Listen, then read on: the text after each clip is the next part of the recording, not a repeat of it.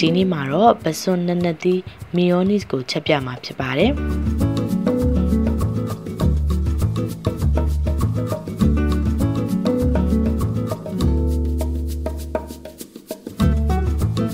ပါဝင်ပစ္စည်းတွေကတော့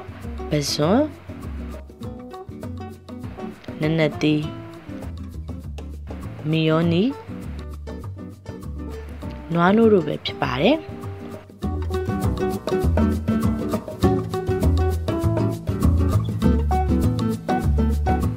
ဆုံးပစွန်ကိုအရင်ခွာပါမယ်ပစွန်ခေါင်းထဲကအညစ်အကြေးတွေကိုလည်းထုတ်ပါမယ်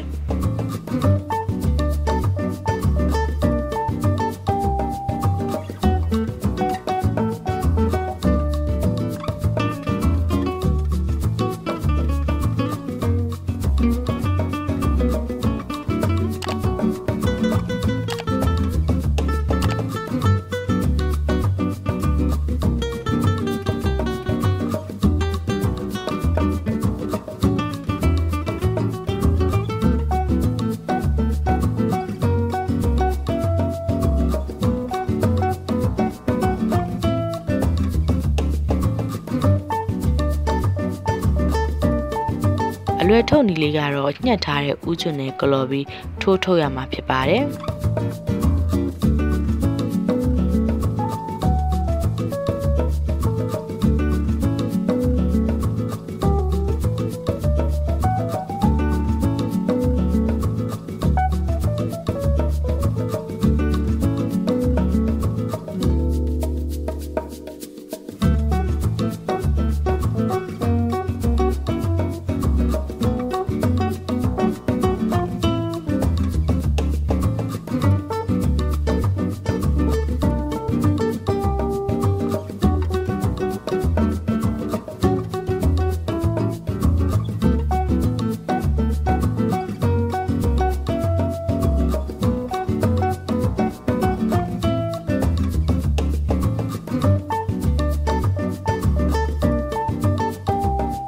ပြီးရင်တော့ကြောခွဲပြီးတော့အငြိကြီးဖြစ်တဲ့အမဲချောင်းလေးကိုထုတ်ရပါမယ်။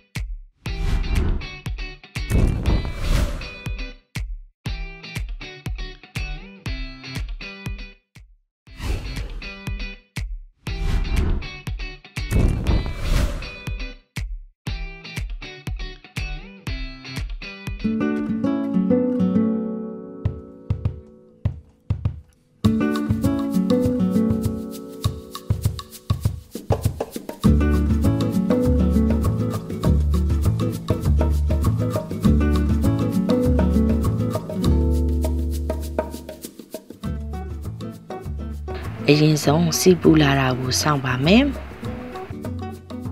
အနံ့မွေးဖို့အတွက်စက်သွန်ပြုစီတက်ပါမယ်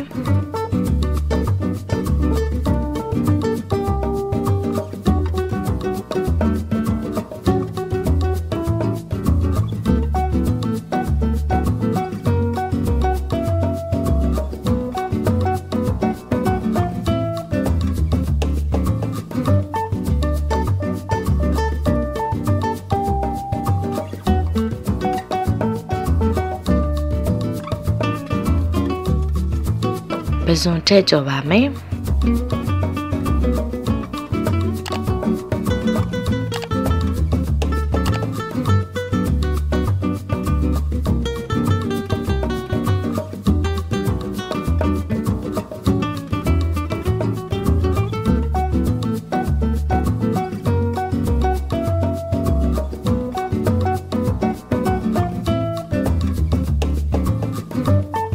စွန်ကြော်နေတုံးမှာနက်နက်သေးကိုလှီးထားရပါမယ်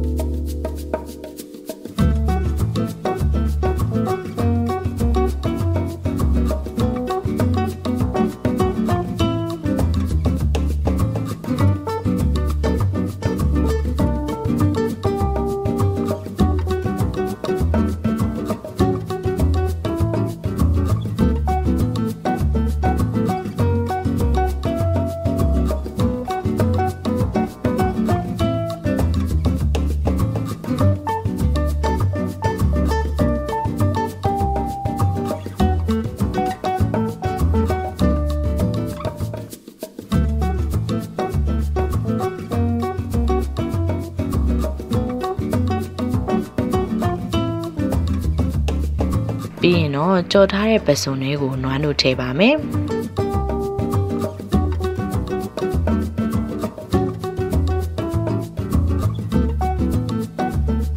တကြားထည့်ပါမယ်ပြီးရင်တော့နှက်အောင်မွေပါမယ်